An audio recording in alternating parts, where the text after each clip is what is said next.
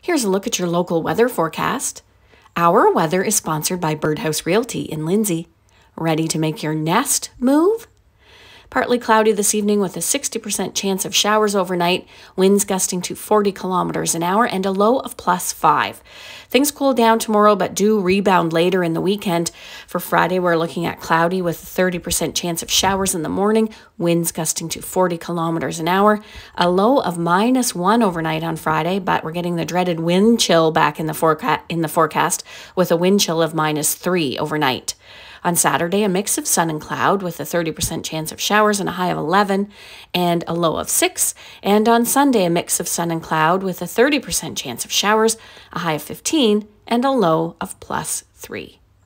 That's your weather, sponsored by Birdhouse Realty in Lindsay.